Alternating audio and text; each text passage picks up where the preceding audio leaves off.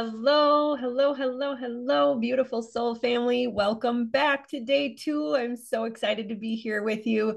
So excited we made it through yesterday without too many voice hiccups. Hopefully, today will be even better. Thank you for bearing with me um, if I do have to pause for a cough. All right. So, how was the I Am the One video? How did you love it? I'm just going to assume you loved it, even though I know our little trauma voice, trauma demon doesn't love it. Um, but it, I am so grateful for those of you that did it, who were brave enough to to move through, and who recognize the importance of allowing yourself to be seen. Because we're no good if we incarnate here in this world. We choose to suffer the the challenges of the traumatic childhood or just being in this society if we choose to play small, if we hide our light, if we don't allow people to see us, we can't do what we came here to do. And so I want you to give yourself a pat on the back, give yourself a high five in the mirror, recognize that if you felt some resistance and you moved through it, that you deserve to give yourself some really big credit for moving through it, for doing what is not always easy for us to do. And the unfortunate part, I, I, am studying psychology professionally, so I can honestly say that exposure therapy works as much as people don't want to hear that. If you are afraid of heights, you climb a mountain. If you are afraid to be seen, you show up and you say, I am the one. So congratulate yourself. Make sure that you take the time to give yourself credit where credit is due. It is really huge that, again, our trauma brain wants to focus on the negatives, the downfalls. Um, and so we want to counteract that by practicing and developing the muscle, right? The neural pathways that are necessary to create new thought habits around look at the good job I did. Look at how far we've come. Not allowing that trauma voice to beat you up and cultivating a new friend, right? The little, the other angel on the other shoulder that says, Hey, you did pretty good, right? So I might go into the details of the neuroscience, but for whatever reason, because it's coming up, I'm feeling called to share it now. Just know that if you have a habit of beating on yourself, that is a very well defined neural pathway called a dendrite in the brain that it is it's easy because it has been so fully developed and it has obviously been used um, well-worn pathways are, are very easy for those electrical impulses to go down and so if you have that habit of beating yourself up don't beat yourself up about beating yourself up. Recognize that that's just a really well worn neural pathway and you can create more. I do teach that in my course um, if you would like to understand how to do that, but it does take time and it takes effort. So start here today by giving yourself some credit. So tell me, was it emotional for you? How did it feel in your body to say, I am the one? Was it hard to feel it and own it? And i just want to again thank you for your vulnerability because to to be vulnerable again is so critically important for not only yourself but for all of those of us who get the pleasure of being in your energy when you share yourself with us. Thank you for being willing to be seen. Thank you for your authenticity and let me know and not just me but for the rest of uh, our group what was your biggest takeaway from yesterday? What really stood out to you? What resonated as truth in your body? Did you have that aha moment? Did you feel a shift in your body? Drop it in the comments. Let everybody know what really landed for you. And it helps not only me to continue to improve this message over time but also it, it helps others to see how you articulate something that stood out to you. If you had an aha moment and you put it in a different way than I did, you may be the words that resonate with someone that didn't yesterday, right? So just know that, like I said, light workers are coming online like never before. And that requires us to be seen, to have this, to drop the comment in the comment box, to post the I am the one video, right? We have to be seen to be effective, to make an impact in this world. I mean, would you like to have a supportive journey? Or I'm sorry, supportive family on this journey? Would you like, do you like going it alone or would you prefer, right? Do you prefer to have a family that supports you? Of course, I would say yes. And that is what you become when you allow yourself to show up and share your insights, right? Share what you are receiving because it helps amplify the support in this group, the feeling of community, the feeling of not being alone anymore, because we are family, truly, brothers and sisters on this journey, no doubt. It's important that we love on each other and we support each other because that is one of the most critical aspects to healing is that healthy accurate mirror the loving relationships the support and knowing that it is safe in this space and i can assure you it is safe in this space i very cautiously and carefully cultivate who is allowed in this group when they are allowed in this group and if there has ever been a comment that was not loving or supportive, that person was asked to leave. Okay. So I can assure you, you are safe here. Right. And also know that as you love and support others, as you show up, you allow yourself to be seen, you say, I am the one, you take your power back, you are giving permission to someone else to do the same. Giving permission to your brother or your sister to take their power back. So many of us play small because of how other people feel right? When we shine, we are doing them a favor by allowing them to see how uncomfortable they are. Brain spotting helps to work through and to desensitize some of the sensitivity that we feel when we feel others' discomfort. There are ways to heal that so that you are willing to not only willing to show up and shine, but willing to stand in the discomfort and also not feel it quite so intensely that you feel that you have to run and fix it for them also keep in mind that makes you part of the victim triangle. If you're not the victim or the perpetrator, but you are the rescuer, you are still in the victim triangle. Right? We are not doing them any favors by rescuing them. We are only enabling them to dim their light. Right? Do we want people to wake up? Absolutely. So then the question is if we are the one and we are being the one for ourselves and it helps others do the same, then why do we struggle so much? Why do we struggle to claim our abundance birthright? Have we maybe not claimed it because we don't truly believe we deserve it? Or do we doubt that it's safe to have it? Do we believe that we have to earn it or work hard for it? That's a good one. At a core cellular level, we have not embodied the aligned beliefs around deserving and worthiness. So we have to ask why, right? There's only one reason to not claim it. And that's because we question what if I'm not the one? What if I'm the exception to the rule? What if I don't have a life purpose? What if I'm the one that is bad, wrong, and broken? Everybody else is the one for themselves but I can't be the one for me? What if I don't have what it takes? What if I fail? What if I hope again and I'm disappointed? So many of us believe that we can't handle that pain. And it is so monumental and so big that the brain protects us through cognitive dissonance, not even allowing us to see that.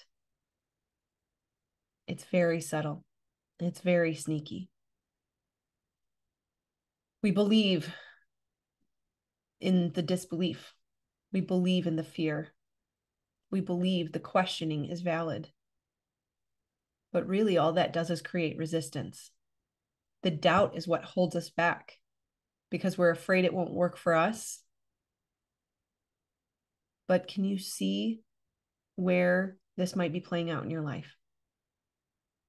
Can you see where you still don't believe it will work for you? The only reason we don't try to get what we want is because of our greatest fear. What if it happens? But what, but, but what if it happens? What if you just gave it a try? Are you willing to try at least one more time? hopefully these next three days or this next two days and yesterday will open you up to just one more try. What if you're willing to try one more time and it works. Wouldn't that be worth it? What if you just went for it this time? What if you went all in and you said, I am putting down all doubt? There is zero room for any form of disbelief or fear or worry.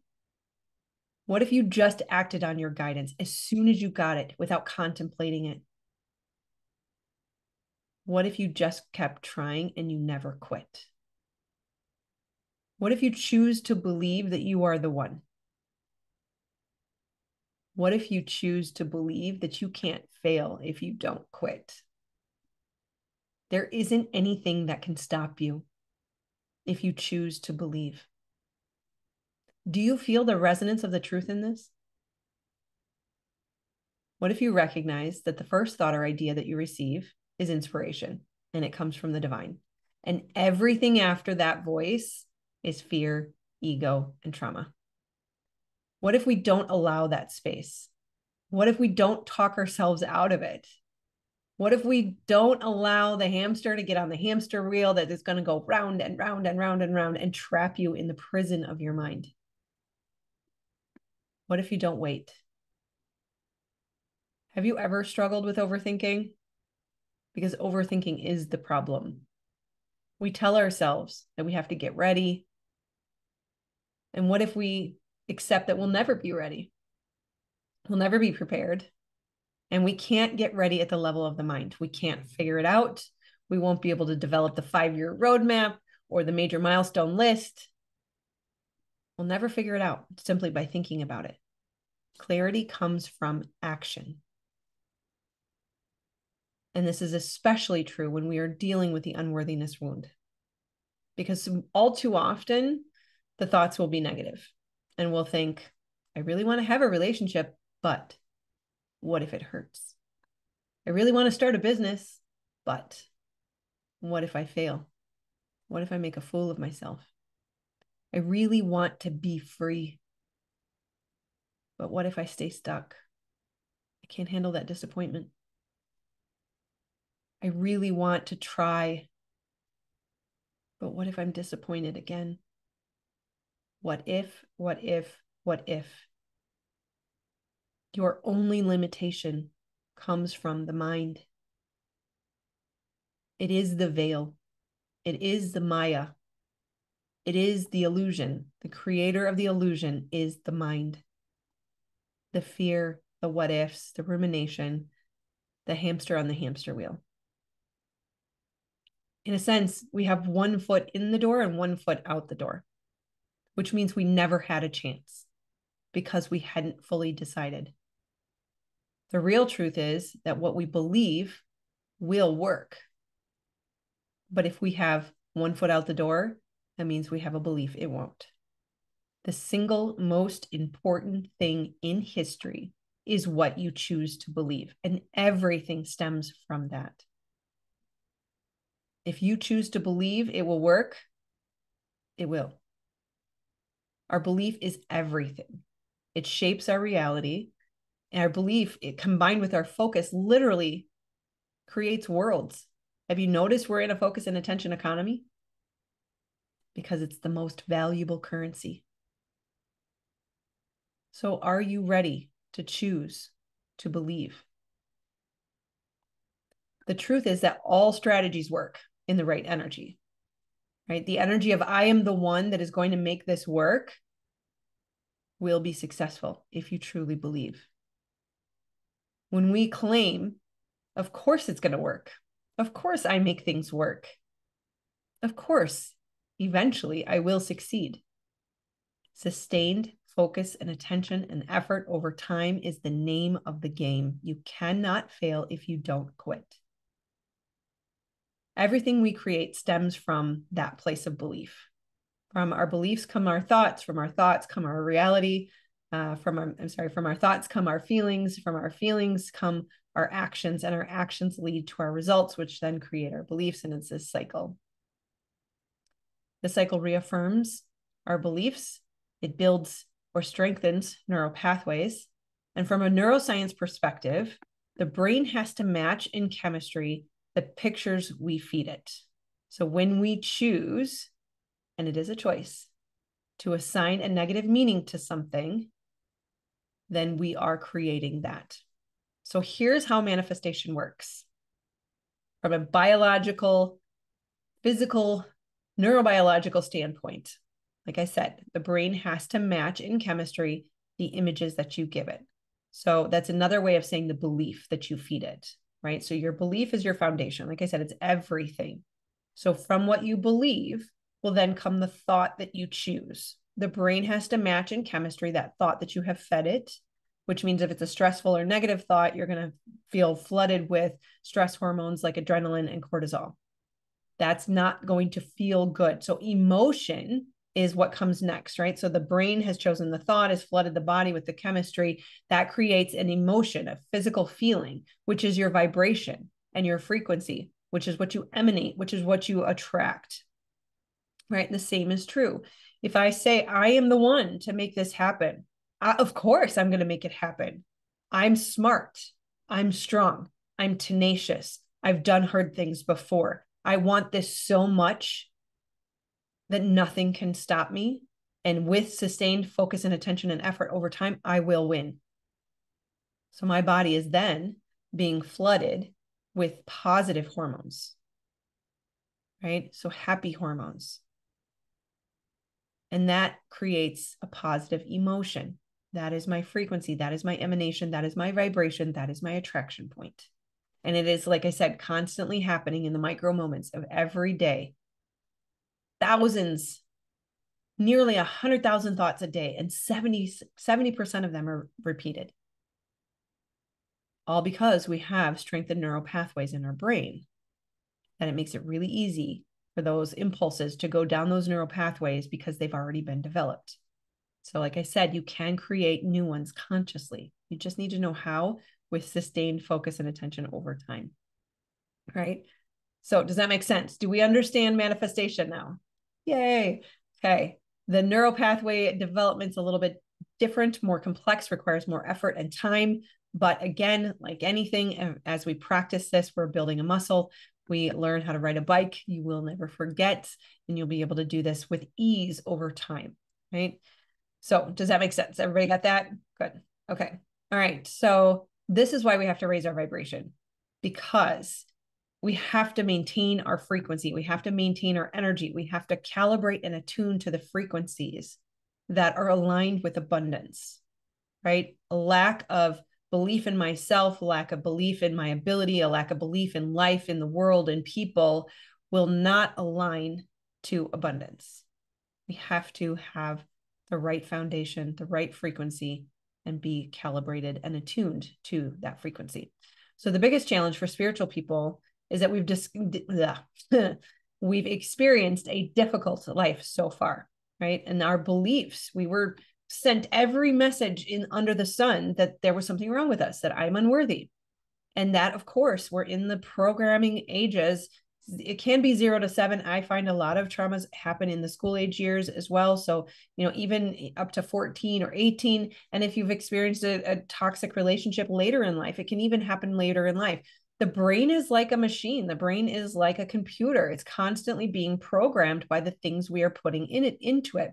That's why music and media are so critically important because repetition is the key to all learning, right? So you can't help it and that's why we have to have grace for ourselves that you were fed the message that there was something wrong with you and it wasn't your fault but it did develop rigid core beliefs like i'm bad i'm wrong i'm broken i'm weak i'm unlovable i'm undeserving i'm stupid i'm powerless i'm worst of all worst of all is that belief in worthlessness because it is the antithesis of our truth you are one with the divine. You cannot be separated from it any more than my finger can be separate from my body. I warned you, I will repeat things that are really, really important for you to understand. We have to recognize our oneness. We have to recognize you cannot be anything less than the most valuable thing or person or being or group of beings on planet Earth, right? So, does any of that sound familiar, right? Those feelings of not enoughness? Of course, we've all been there. This is the human condition. And if we're lucky, some of us recognize in the prefrontal cortex our value and worth, but we still struggle to see value and worth in others. Or we may not be able to believe that the world is safe or that we can't trust anyone or anything. The fear of being hurt again causes the ego to rage. And we create a habit of thinking primarily about ourselves excessively.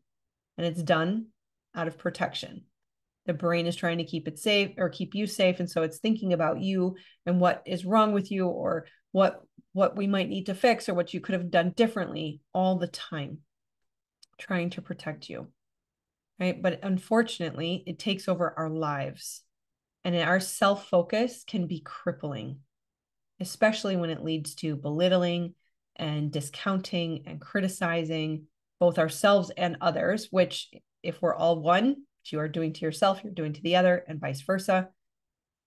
We have to have grace. Grace means forgiveness, compassion, understanding, patience. We are all human. The human condition is to make mistakes, is to be perfectly imperfect. So we have to have grace for ourselves and make space for being human. We have to learn how to laugh at our faux pas Learn how to bow when you trip. Forgive your neighbor for their bad day. Forgive the guy who honked at you because you didn't take off fast enough at the light. Right? Because as you give yourself grace and you give others grace, it will then be returned to you from the other as well. And it's common, surprisingly, it's common for us to choose both jobs and situations below our capacity to stay in our comfort zone because, again, of that feeling of needing to be safe. But when we do this, when we accept relationships or jobs or situations below our capacity, below what we know we're capable of, it creates a sense of disrespect for yourself, where you know, a part of you knows that you could do more, you could do better, you you deserve better.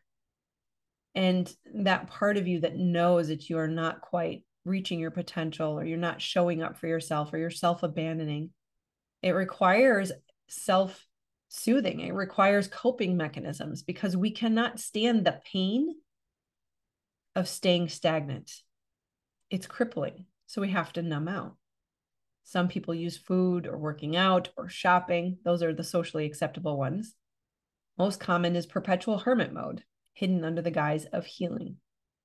Have you ever experienced that phase? I know I sure have. Heaven forbid we choose something to cope uh, with our struggles that actually adds to our shame. Heaven forbid that it causes us to hide even further. Substance abuse and sex, sex addiction give us yet another excuse to punish ourselves. And we may try to make ourselves feel better by overgiving or rescuing, attracting the other wounded codependent partners. But no matter how hard we try, it is still difficult to look people in the eye. Have you ever noticed that? Is it difficult for you to look people in the eye? Sometimes we over apologize for things we don't need to. Maybe we're hyper defensive in the face of criticism. Indefinite social isolation hides behind the guise of spiritual healing. And when the very thing that will heal us most, which is healthy connection, is kept from us, we go even farther into our pain. Does any of this sound familiar? All of this stems from those core beliefs of not enoughness, the lack mentality, the wound of unworthiness. And when we question our value and worth, others will too. Again, as within, so without. All is mind. Everything that you see out there is a projection of your internal world. We teach others how to treat us. And that means that when we heal, in order to heal, we have to remove the trauma from our body. So we can come to the point of certainty in our value and worth, in our being the one certainty is needed to believe that people are safe. Safe people do exist. We need certainty so that we can attract loving partnerships, And we need certainty that the world can be a safe place. There is a frequency to certainty, and it overrides all things. We are that powerful. We are the decider. And when we declare we are the one, the universe responds. Divine wants us to claim our power. That's part of the reason why I'm here. And we have to use it in conjunction, of course, with the will of our Creator to do good things, to help others see their value and worth, to create heaven on earth. And we are of no use if we don't know the truth of who we are. How can I be the one if I don't believe I am? How can I expect others to respect me if I don't respect myself? How can I expect others to love me if I don't love myself? There is tremendous power in belief. There is tremendous power in decision. There is tremendous power in choice. What do you see? Who do you choose to be? Will you choose to see your power over your fear? And are you ready to become the decider in your life? Excellent. All right. So the next belief that we have to look at is the belief we have to do it all on our own. Have you ever noticed this belief show up in your life? How many of you are loners? I was guilty of hyper independence for a long time until I learned that that is unhealthy and that is a trauma response. It is a belief of the ego. The belief of the ego. There's three primary beliefs of the ego. I think I might mention them yesterday. It's worth saying again that the number one belief of the ego is separation. I am on my own. It's all up to me. Because the ego believes that we are separate, it believes that it needs to create an outcome and attaches to that outcome to solve for the separation. And of course, the third is that the control of the outcome to solve the separation is completely up to me and all by myself. I am on my own and I have to fix this. All of which, if you notice, are the exact opposite of oneness. We cannot be separate from our creator, which means we cannot be separate. We cannot be lacking. We do not need an outcome. The outcome is not up to us to control. You see how this works. So know that separation is not true. And ask yourself are you willing? Are you ready to acknowledge and to remember that you are not alone? You are one with the divine. That is a choice. And we will choose it today or in the next few days. And just know that it will take time. We can know it without knowing it, but it will come if you choose. So, the things that we struggle with are part of the human condition. You are not alone in this. Many struggle with this. And again, it is that egoic belief of separation to believe that you are on your own or this is just you. And that's what keeps you stuck. That you cannot and should not try to heal this alone. That in fact, your creator has asked you not to right? We're asked to come together, to love on each other, support each other, but more importantly, to surrender to the divine. Let he, she, it, they, them do the heavy lifting. Stop trying to do God's job. Stop looking outside of yourself. Stop striving. Stop efforting. It's time for rest. We need to rest in the peace and the ease and the flow of divine assistance. There is no one that can do this for us. And we are not meant to do it alone. And when I say you're perfectly imperfect, that means that there are things about you. You have strengths and you have weaknesses, right? Really, I prefer to see those as opportunities for collaboration. That just like a puzzle piece, you have parts that go in and parts that receive. We are made to do this together. We are made for connection, and collaboration. Are you ready to be supported? Are you ready to give up the lone wolf belief? In order to receive the, res- the support, we have to be willing, right? We are simply asked to let go and trust and allow and watch with awe and gratitude how people show up for you, how things unfold for you. As we rest and sink into the beauty and the peace that comes with knowing we are meant to experience support and love and family, community, that it's safe to lean on your brother or sister for support. Recognize them as your mirror. That these traumas and beliefs and wounds hang out in our shadow, they hang out in our rearview mirror our blind spot. And we can't see them without the mirror of the other. They will show you where you need to heal, but they will also help you when you fall down. And we are not meant to do this alone. We are not able to spot our subconscious patterns on our own. We need those mirrors. We are truly more powerful together. And again, if you have not done brainspotting with me yet, likely you're already on the schedule. If you're not dm me. I will send you a link to schedule. You will you will know after that session the power that happens when we are together. I love the the phrase where two or more are gathered there i am in their midst. And that is so powerful. And it is it's a tangible power when we come together with the intention of healing.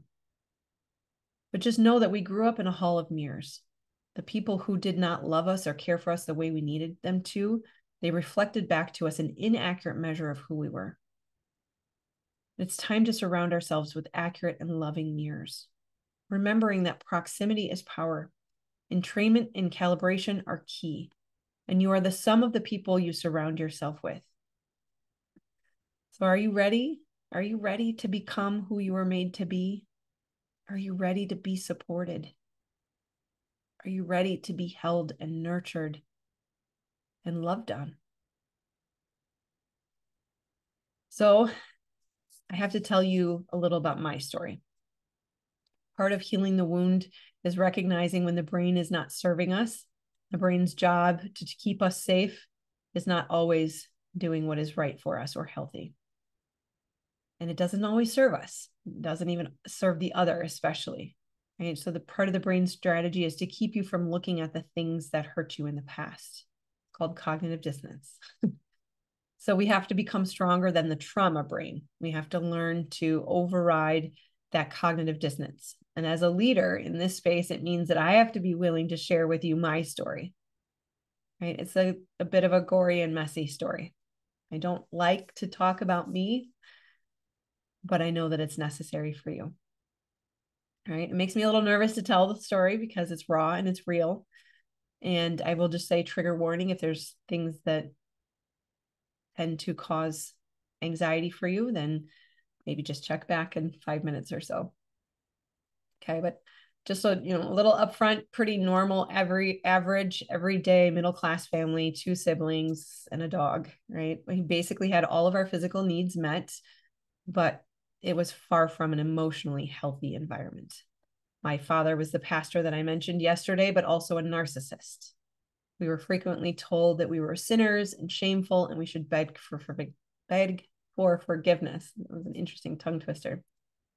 He used the authority that was given him to him by the church and by God to justify his behavior. We had to hope that we would be allowed into heaven and only if we suffered and self sacrificed through this painful life. Many times I was berated for being a sinner or a bad person, accused of lying and stealing when I did not.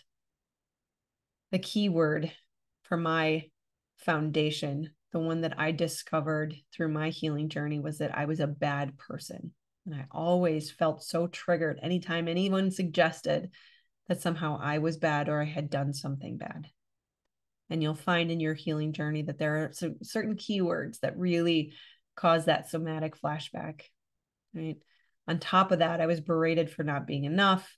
I was told that i was too too naive too loud too rambunctious too um energetic too bubbly too optimistic right? Add to that because it wasn't enough. There was also emotional physical and sexual abuse in my childhood I, of course, never felt truly seen, heard, cared for, or loved, let alone safe. And I was lost anxious and depressed.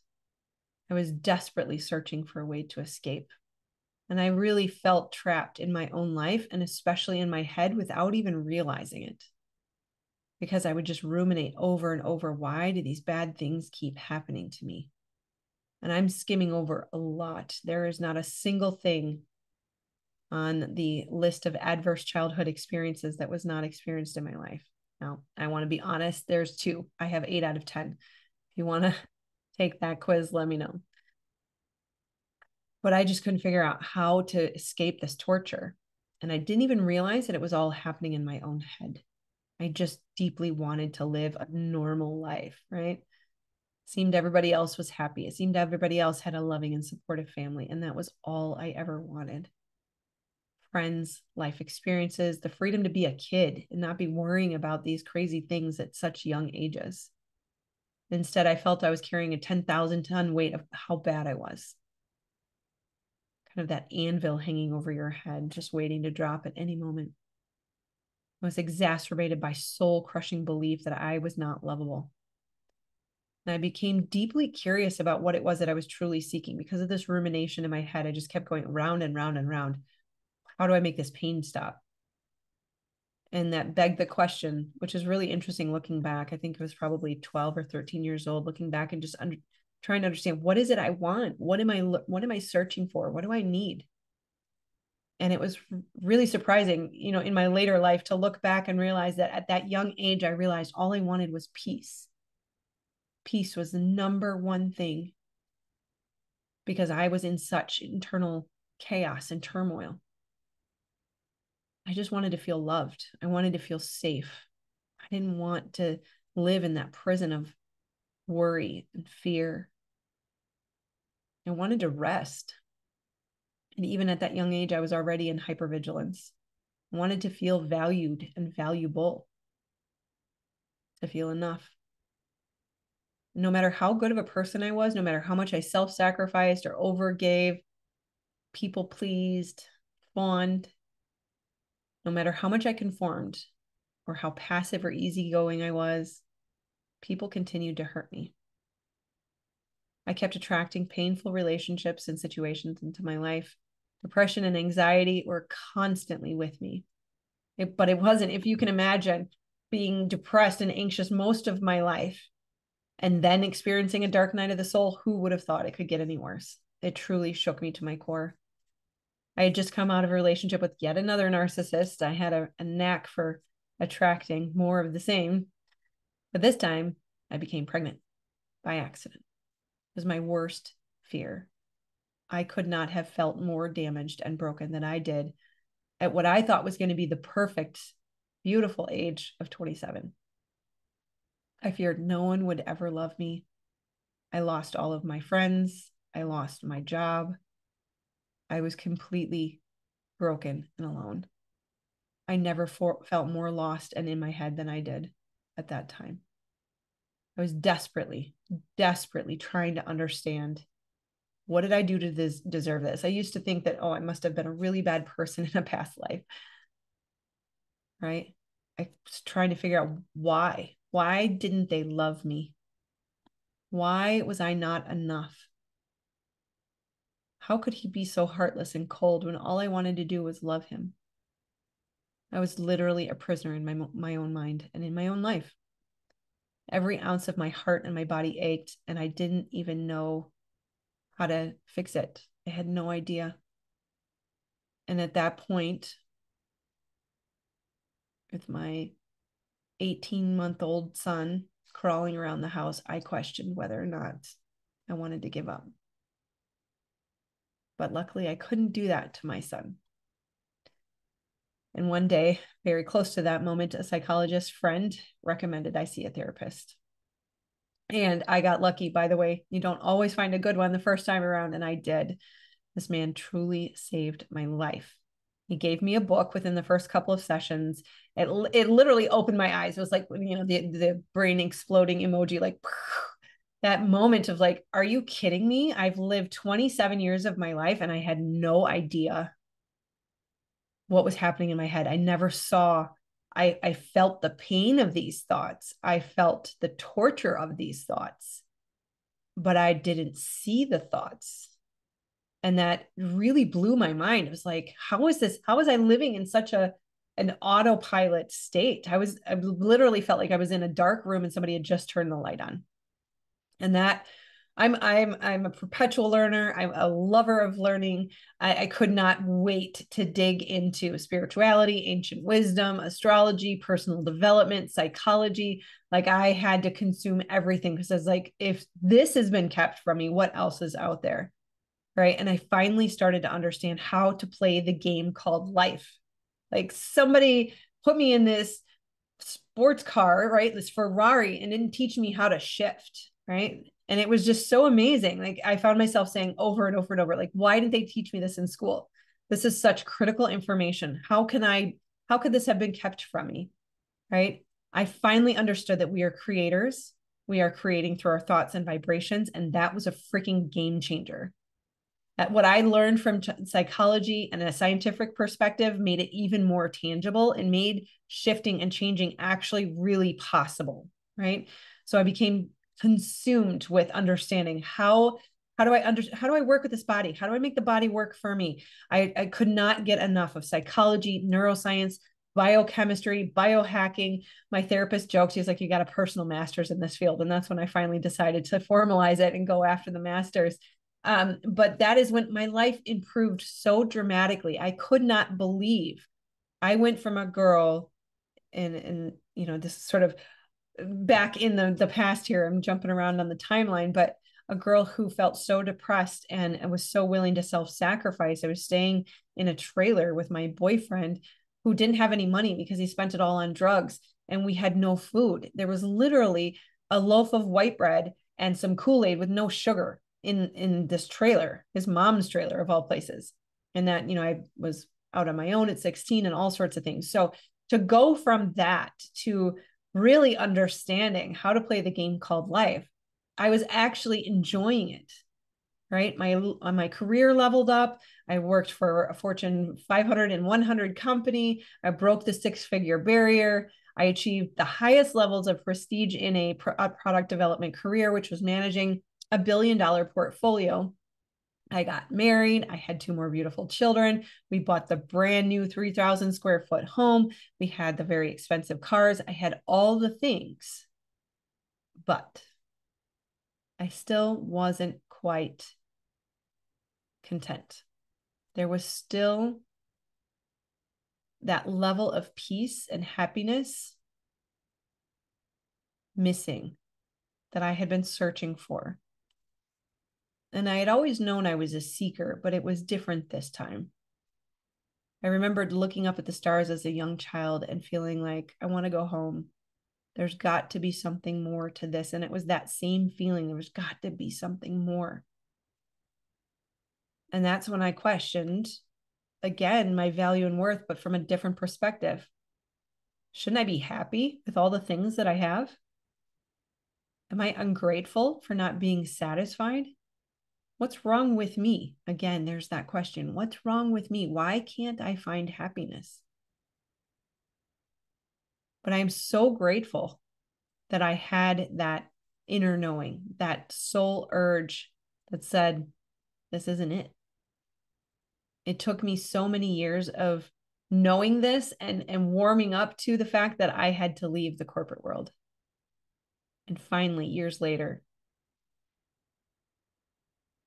I would do it. And that's when I discovered the original wound of unworthiness, not enoughness, the lack mentality.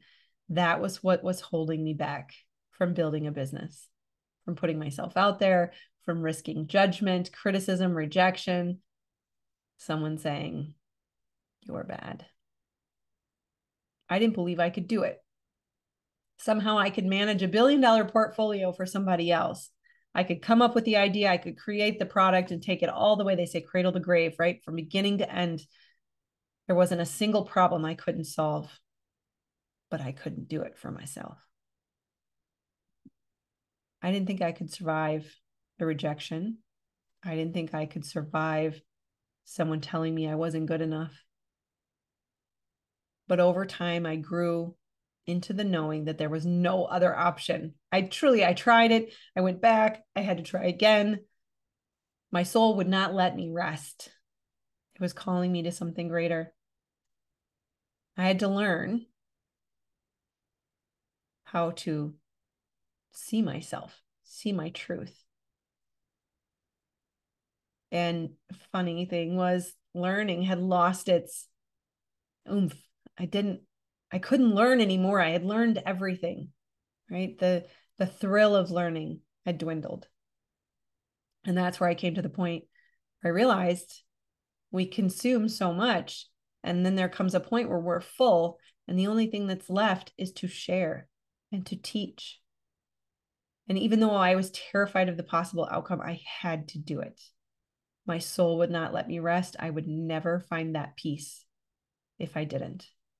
And so I quit. I walked away from a six figure corporate career while also filing for a divorce, giving up my big house, the brand new home, the fancy car. I walked away from it all. I had no way of knowing how I was going to survive, how I'd feed my kids, how I would pay my rent. But the one thing I did have was the knowing that I had a purpose and that my creator loves me enough to provide what I need. I knew that following my purpose was the only way I would find the true peace and happiness that I was seeking. And as I began to step into my purpose, I began to taste the ecstasy that I never even knew was possible. I absolutely loved helping people. I love helping people. And I'm sure many of you have you ever said, I just want to help people? How many of us have said that, right? In the process of researching and creating courses and videos, using the very knowledge that I gained on this journey to save my own life has also helped many others. I've learned how to heal the wound of unworthiness. Is there anything more important in life? How to unblock those things that hold us back. I worked through my own unworthiness wound, but it wasn't hard this time because I had brainspotting. I cannot speak highly enough of this modality. It made healing so pain free and effortless. It literally shattered the glass ceiling of trauma that had held me back. And I finally began to live a life that I truly loved. Following my intuition in every moment and letting joy be my compass, I became whole again. Shedding all of the trauma responses and the character traits that became from the protection instead of from who I was made to be. I discovered we are all made perfectly imperfect for our purpose and I began to shine brighter than ever before and become even more powerful than I ever could have imagined. But best of all, I was no longer afraid of my power. And I learned to be comfortable with making others uncomfortable. I chose the perspective of seeing that as a gift. And that created an unshakable foundation of confidence, unfazed by anyone or anything, not to mention living a life of true abundance. My kids and their home we're together every day. I pick them up from school every day. We go wherever we want, whenever we want. There's nothing like the freedom to work where you want to work, to, to work at the pool while your kids play with friends, to live a true life of freedom and abundance that we were meant to. And that's why I have to share this with the world. Understanding how to heal the wounds that hold you back so you can step into your purpose is life changing, not only for the world, but for you and me. so, doesn't this sound like something you would want in your life? This is when I started to use my gifts. This is when things came online that I had no idea were available to me. I never would have guessed some of the things that move through in the healing sessions. And then I've been able to combine that with my passion, psychology, neuro, neurobiology, personal development, spirituality, biohacking, helping people. I mean, it's it's all come together. I love to use the analogy of soup, right? This is our soup of life. This is when I say you don't have to be a tarot card reader or a psychic to have a spiritual career. You end up creating this, you know, job that no one ever knew would exist because it's a combination of all of your skills and interests. And that's when things really start to click There's an overwhelming sense of joy and rightness that will wash over you. This was the thing that I had been searching for. There was so much more to life than I ever thought possible. And there's a knowing that overcomes your body when you are living your purpose. Just that full body, yes, this is right. A natural high that takes over you. It's indescribable, like an out of body experience. The rightness cannot be denied. And you really get in tune with when something is right or when it's wrong, because when you step out of that rightness, it is more obvious than ever. And you finally have access to the highest levels of joy and bliss and the good that you were meant to experience.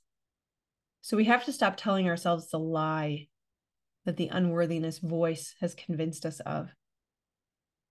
We have to stop asking, What's wrong with me? and ask, What's right with me? Stop asking, Why can I not be content with the way things are? And start listening to that urge that is pushing you to make a shift and a change. When you start to taste your life purpose, you will know this is what I've been searching for all along. The unquenchable thirst is finally quenched. And it doesn't mean it's all rainbows and sunshine and unicorns. I am not about the Pollyanna stuff. A little of this is kind of shadow work, right? But it's all worth it because you don't have to stay in it anymore because you actually move through it and it actually dissipates and leaves your body. You don't have to live there. We can create a life of our dreams. It is an evolution over time, but you will grow into it as you build it. And the building of it will shape and mold you. So it's time to level up. Are you ready? Life purpose is like ascension on steroids. It only takes one minute to step into it, but it will continue to unfold like the lotus flower and it just keeps getting better and better. And all it takes is one yes. So I want you to look back at this moment and remember this is the moment when everything changed. This is the moment when I acknowledged that I'm the one that can do this. And I'm going to choose to do this now. And if you make that decision, what is there to stop you? So, are you ready? It doesn't mean that there won't be moments of doubt. It doesn't mean that you won't wonder if you can hold it. When you realize the energy that is inside of you, those moments where you felt that full body yes, you felt that rightness, that knowing that this is true. Once it's in you, it's so much easier to be able to tap back into. So I tell you my story because I want you to know that I'm human, that I did not have it easy. I did not have my way paved for me. And if it was possible for me, it's possible for you. You just have to find that person to calibrate to. And when you fall in love with a mentor who has done what you want to do and they feel like home to you, there is nothing that can stop you. So humanize me as much as possible. And imagine me sitting in your living room with you or in your car with you. And then recognize what will change inside of you. I want you to feel so comfortable, like I am your sister because I am. And we're just having a conversation so that we can collapse time and create hyperspeed recalibration so that we can walk together through this journey of transformation. Feel me as that girl that struggled just like you do or did, so that we can do this together. And no one can tell you what is right for you or when it's right for you or on any kind of timeline. It's our job to be the decider. It's our job to be our own hero. It is not the grand gestures that shape you, it happens in the micro moments in life. And it is time to claim it.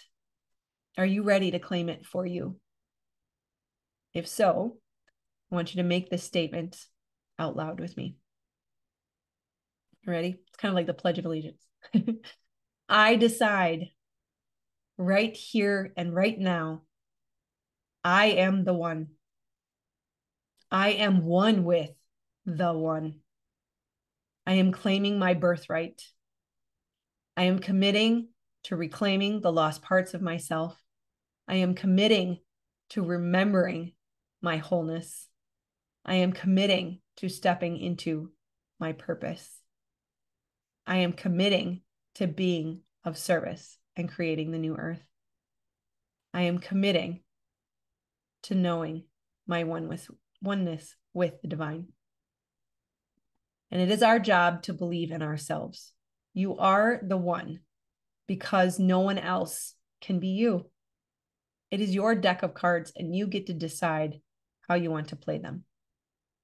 Imagine in just a few short years from now that you are the one who can make people feel like the one. That you are not less valuable because you struggle. You are not less valuable because you still have fear. You are not less valuable because we're just getting started. We are the one that does it our way. And you show others how to do the same. When everyone gets to be who they are, fully in their power, the world will be a different place. So the next step is to set your mind to this commitment. Quiet your mind, connect to source, and ask for guidance on the next right step. The key is to balance action with guidance. We have to take action immediately after receiving the guidance. Start to play Marco Polo with the divine. It needs to be an echo, a constant conversation. Where are we at now? Where are we at now? Where are we at now? Where would you have me go? What would you have me do? Who would you have me speak to? What would you have me say? Because that is your source of guidance for everything that you need. This is how we get from where we have been to where we are trying to go. Are you ready? Let's do this thing. All right. So for today's activity, I would like a post, whether it's a video or a written comment, however you feel comfortable. Videos are awesome. Showing up and being seen is an excellent practice. But if you prefer to write it, that's okay too. But we'd like to hear how will you act on your commitment today?